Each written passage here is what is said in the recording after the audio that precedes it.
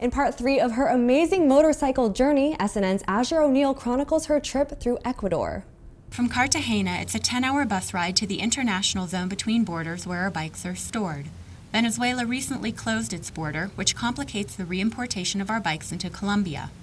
We spend three days at the customs office, not getting anywhere with the paperwork, but making friends with the Dion customs officials all the same. We're invited to soccer matches and family dinners, during one of which a head official Raul addresses our situation. Le vamos a dar un permiso especial.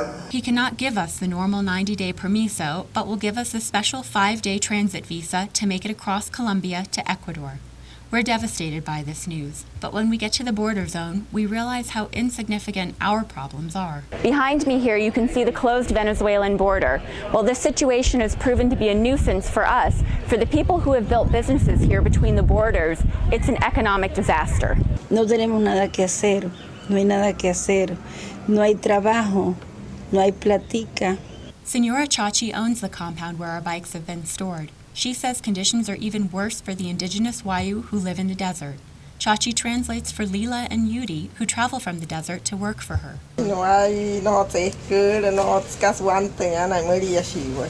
The bikes need a lot of TLC after being in storage. Our curious and kind Colombian friends are always around and willing to give a hand. Pretty much been like the best 10 minutes ever because at the same time as we got the bikes